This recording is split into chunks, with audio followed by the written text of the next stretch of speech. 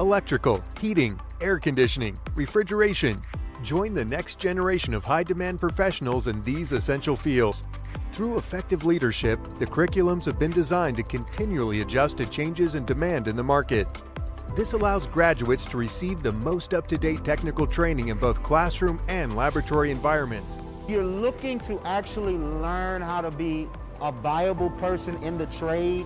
You'll want to come here because we have instructors that's actually in the trade, that's actually doing what we're sending you out to do. So it's, it's past just the book knowledge. We can fine tune some things and kind of teach you the things that employers are looking for based on us knowing how to do those different things.